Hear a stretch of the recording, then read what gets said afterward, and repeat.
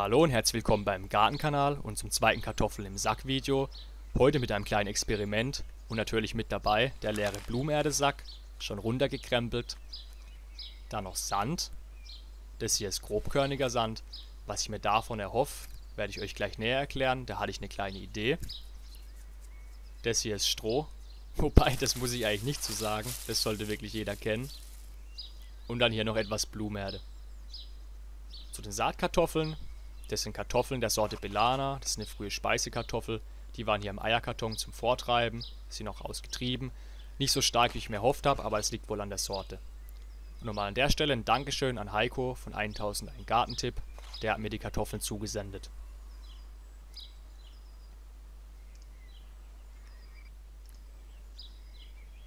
Hier im Topf mit der Blumenerde wird jetzt die Mischung angefertigt. Und ja, was erhoffe ich mir vom Sand? Also Wasser, versickert in sandigem Untergrund, sehr gut und schnell. Und Sand kann auch Wasser sehr schlecht speichern. Deswegen werde ich den unteren Teil von dem Sack damit befüllen, später werde ich auf den Sand verzichten. Was erhoffe ich mir? Ich will Staunässe vermeiden. Ich möchte nicht, dass unten in dem Sack sich sehr viel Wasser ablagert.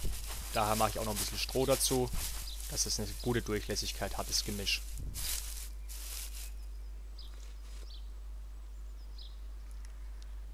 Mit was ich dann später, wenn die Kartoffeln auskeimen und höher werden, das Ganze auffüllt, weiß ich nicht. Aber das Gemisch hier ist jetzt auf jeden Fall mal die Basis für unten. Habe das Ganze gut vermengt. Und es sollte so, glaube ich, so ein Anteil von 30% Sand sein und 70% Erde. Den Stroh rechne ich jetzt mal nicht mit. Beim Befüllen beachte ich eigentlich nicht viel. Ich drücke das Ganze gut fest, damit hier keine Freiräume sind oder Hohlräume. Auch schön in die Ecken, alles gut verteilen. Mal über den Sack ein bisschen verschieben und dann passt es soweit. Da muss man nicht viel beachten. Noch eine Hand rein und den Rest mache ich dann gleich ohne Kamera. Ja, der Sack ist jetzt befüllt. Jetzt kommt die Kartoffel rein. Selbstverständlich setzt man sie mit Augen nach oben, also da, wo die Triebe rauskommen, das nennt man die Augen. Und es sollte eben nach oben zeigen. Bringt ja nichts, wenn es in die Erde zeigt. Da in der Erde kann es ja nicht wachsen. Die mache ich so zur Hälfte rein, manchmal auch drei Viertel, drückst du gut fest. Denn wenn man das Ganze angießt, wird das Substrat sich auch noch ein klein wenig absenken. In den Sack kommen jetzt vier Kartoffeln rein. Das wird ein 70 Liter Sack. Und hier ist die kleinste Kartoffel, die zum Schluss. Und ich bin mal gespannt, was dabei rauskommt für einen Ertrag.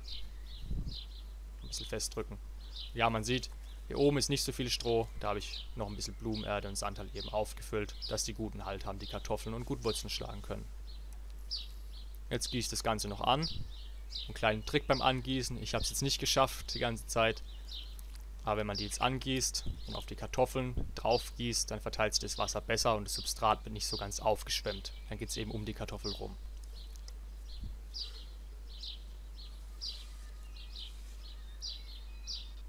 Und zum Schluss, ihr seht jetzt den Sack, der steht jetzt auch im Treppenhaus. Ein Update vom ersten Video. Richtig schöne große Triebe haben wir hier. Sorte Erstling. Die werden jetzt dann aufgeschüttet. Und was mich aber verwundert, und natürlich hochgekrempelt dann beim Aufschütten, was mich aber verwundert ist, die kamen zeitgleich rein, die zwei hier, und die haben noch keine Triebe. Weiß da jemand, was los ist? Warum die nicht treiben?